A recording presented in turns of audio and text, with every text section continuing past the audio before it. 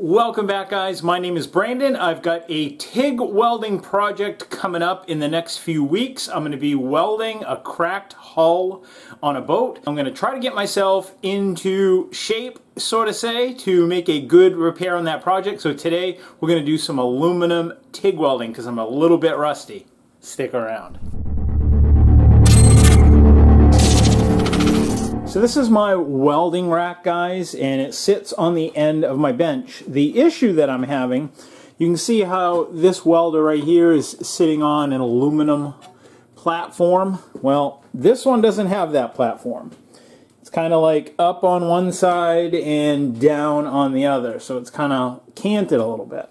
And you can see it a little bit better on this side. Then you look at this welder, it's got a little piece of plate up here then you look underneath and you can see I've just got a little tab welded on each side so that this plate can't slide off, but the welder can sit on top of it. These are MIG welds here. I don't know if I used a spool gun or if I pushed it directly through the machine, but that's how that was done. I'm going to weld up a couple plates and put a little brace on it, and we're going to do some AC TIG welding because I'm a little bit rusty. I absolutely love this rack, guys, and if you want to see how I built that, you can check out the video. It actually comes out, it sits in like a couple little stake pockets that I made down here and attached to the table. This will lift right out. I got some, as you can see, some hooks on the back side. So if you guys are anything like me and you have like a cramped workshop, this is just like the ideal setup because it, you know you could put as many as you wanted. You could put three welders here. You could do more on this side with plasma cutters and then have hooks on the outside. I just didn't want it too messy and I don't want too many things going on on this side. But yeah I have a build video if you guys want to check it out. I think what I'm going to do is I've got some aluminum scrap here. It looks like it's going to probably be about this right length and everything. I think what I'll do is kind of just set it on there like that and probably leave like a space in the middle which will help for airflow. This one doesn't have a space in the middle but it would be kind of nice to have that little space and then that little rib that we put across the bottom will hold these two halves together and then the welder will just sit on top of that. This saw is pretty sweet guys. I use this pretty exclusively to just cut aluminum with. super handy and super accurate. What I like about this saw is that it opens up massive. You can cut huge sheets with it. You can go wider over here. But for what we want to do, we don't need to have it opened all the way up. I just wanted to show you kind of this, uh, some of the stuff you can do with it. Guys, I got to take this off because I got to get this piece of aluminum closer to the fence and that'll allow me to get. I'm to set my blade just so it passes through that material. That's good. And I'm just kind of to eyeball like a width that I think looks good. Yep, that looks good to me there.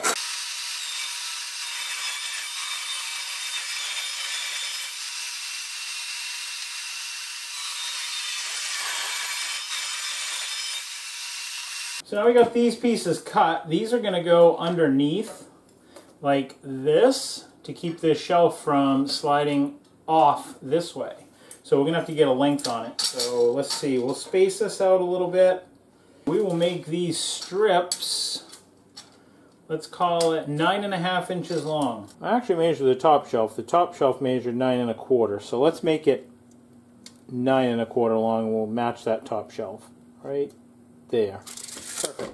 No longer those two little dots that I just made. Bring this over to my portable bandsaw, flush up these ends. I built this stand. If you want to see how I built it, I'll have a link down below.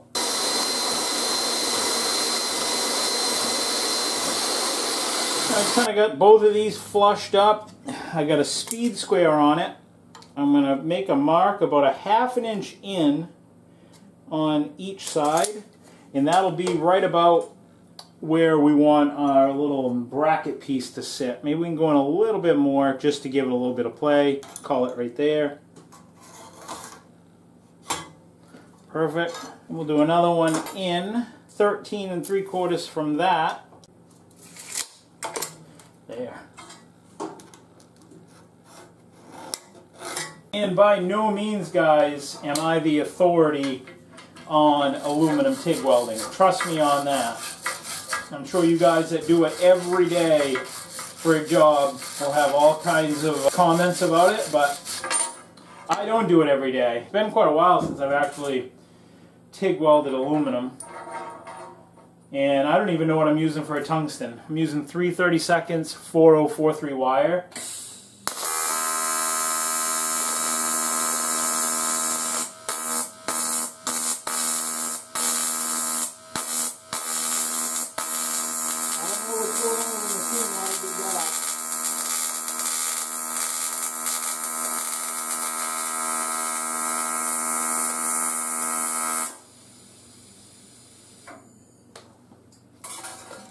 I didn't dip my tungsten. I'm not really sure why that was doing that. Maybe it was really close and it was arcing it out.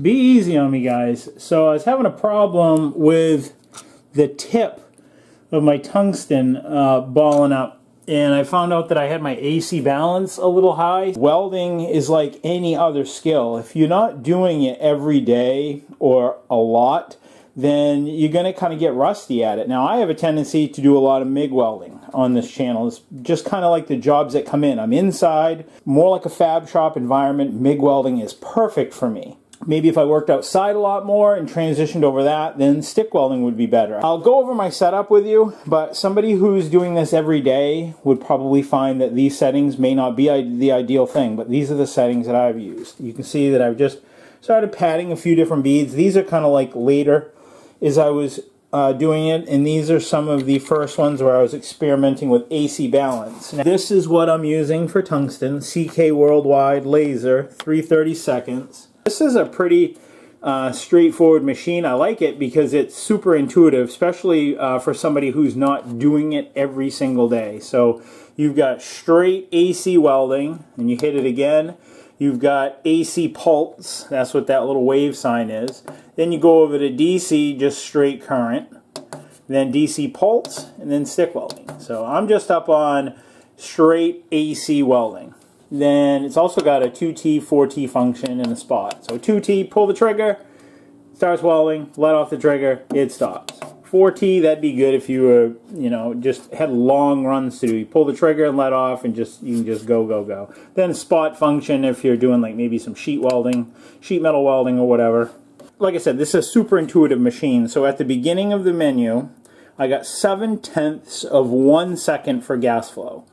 You can change that. Let's go back through it. You can change it. You can go all the way up to 5 seconds of gas flow before you start uh, welding. So let's just go for a second.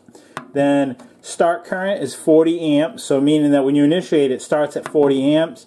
It doesn't ramp up and it'll go right to my maximum setting of 130 but I'm on a pedal and if you're curious about amperage settings or anything else there's there's charts all around the internet so that you know what your amperage should be for the maximum material I think like one amp per one thousandths of material thickness is like an average of what you can safely use. My Hertz is at 100. You may want to be like at 80 for a butt joint and like 100 or 120 for an outside corner. And you'll hear the frequency of the weld increase as you increase the cycle or the duties or the hertz. At 25% AC balance, some of these machines kind of work uh, backwards to one another. For whatever reason, mine must have got hit because it was on 80% AC balance, and meaning 80% of the power was going into that uh, tungsten, so it was like balling it up. It was basically overheating the tungsten. So once I brought that down to like 25%, and then I checked to make sure I was getting like good cleaning action, because you can see like this haze outside that'll tell you that you're getting good cleaning. So I know that 25% on this machine is a good cleaning action. I could probably even go down to 20 if I wanted to safely do it by the looks of how well this uh, material is coming out. So I know that 25% AC balance is good. when it was on like 85, the weld was super hot and it extended, that extended way out here, that cleaning action, and it's not necessary to go way out there. Like I said, it was also making the tip of my tungsten overheat and ball up. So the arc was pretty scattered. It wasn't uh, pinpointed like it is here. So we left off at AC balance, and then we have downslope, which that's the time to ramp it down. There is none. It stops at 40 amps, and my gas flow after the weld stops is 6 seconds. This is just a super intuitive machine, guys. Uh, it's really easy to use. That's kind of why I like using this machine. That was kind of one of the things that attracted me to this is you can kind of set it up based on the material that you're welding and it's pretty quick and easy to do. This is when I had my AC balance set up really high. You can just see how it's all like washed out and then you go inside here and you look inside. I don't know if you're able to see that. Let me pick it up. You can see where I was just kind of like experimenting on different things and whatever. Uh, you can see like transfer to the inside that's not good. That's not a uh, good trait to have that bleed through on the inside of your part. And then you can see where I started getting things tuned in a little bit better, like over here. Then you spin it around and that transfer is just about gone. So I'm getting the settings just right, practicing. Like I say, I've got a boat hull that I need to repair. So I'm trying to do this project because it's something that I need for my shop, but it's also going to help uh, sharpen up my skills so that when I go to do the boat repair, I can at least get my settings right and kind of get back into the to the habit of TIG welding. You can see this one's a good one right here. Got good cleaning action on either side. Just kind of practicing a little bit as we go.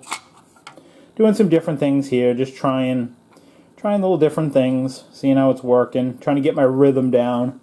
Then I just did a bunch of experimented with dabbing the material in, adding it, and pausing, just trying to get you know a different rhythm and seeing how different things are working for me. Yeah, like I said, guys, practice.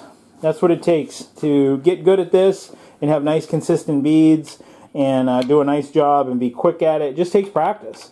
And if all you're doing is stick welding or MIG welding and you're not practicing a lot, then when you go back into this, just like anything that you do and you take a little vacation or a holiday from it, it takes a couple minutes to get back into the saddle of it again, but you'll pick it right back up. I mean, don't don't get me wrong. All that muscle memory and all those things that you've learned and those skills, uh, they'll come right back to you. It just might take a little bit. And uh, but yeah, I, have always enjoyed uh, TIG welding.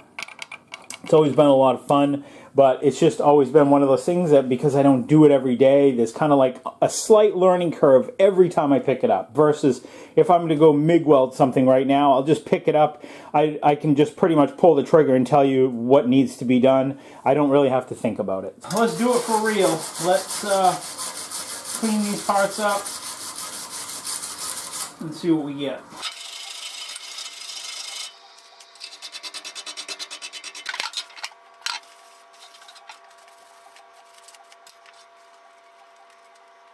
Alright, we'll start by getting a little tack on it first.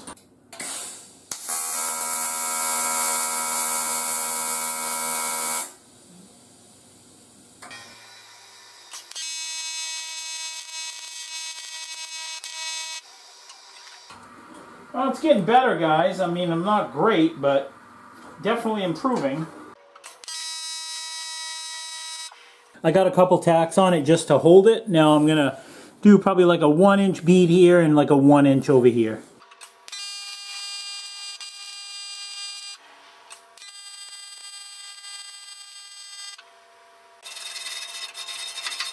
The problem that I'm having is that this piece of material is so thin and so small that it sucks up a lot of the heat as compared to this. So it takes a lot more heat to get this metal to flow than it does for this one.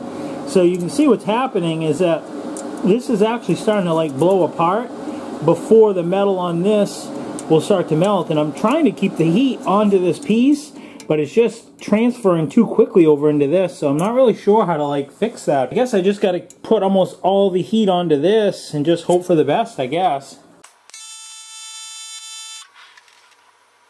You guys probably can't see it but I've got like some aluminum blocks up underneath this so that it, this plate doesn't act as like a heat sink and cool down this flat plate here because this is what I'm having a hard time uh, melting first without overheating this little rib here.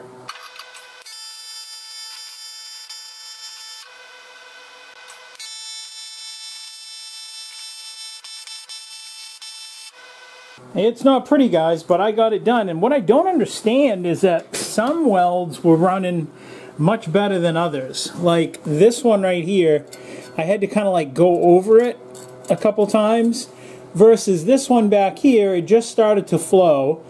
And then I was just dabbing in rod, it started going in good, and then it just kind of stopped going good. So I'm not really sure. And then this one was giving me all kinds of problems too. You can actually see how out back here, it started washing out that band. So I don't really know. Uh, these ones came out a little bit better up here. So I'm just going to have to practice a little bit more. Maybe I'm not running the right filler for this because uh, I really don't know what this aluminum is either. This is what I'm using, 330 seconds 4043. I don't know, maybe this just is a oddball aluminum that I'm working on because I don't really know what it is for aluminum. It's just a uh, sheet of aluminum that I picked up from the scrapyard off a drop, so I'm not really sure.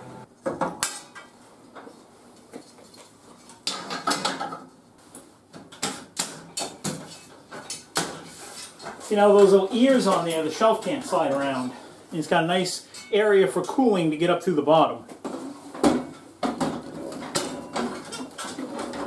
But you know something, that's the great thing about working with different alloys and metals or whatever because it shows you guys that you know, not everything in the world of welding is like a perfect stack of dimes and everything goes together well like a lot of the YouTube channels show. I was struggling with this. Some welds ran really well, other welds didn't run that great at all. So hopefully you guys don't get overly discouraged and see that because your welds aren't coming out perfect like all the YouTubers do, I'm actually showing you that when you don't do something every day or all the time or a lot of it, I'm struggling with this because I don't do aluminum TIG welding every day. If I did every day, then it would probably go so much easier and I'd have all kinds of tips. But I struggle doing certain tasks just like a lot of you. So I'm hopefully trying to keep it real and let you guys know that sometimes you just got to practice. And I think that that's probably what it is for me. I just need to sit down and do more TIG practice. That's all there is to it. Until next week, guys, I will see you then. Take care, stay safe, and God bless. See ya.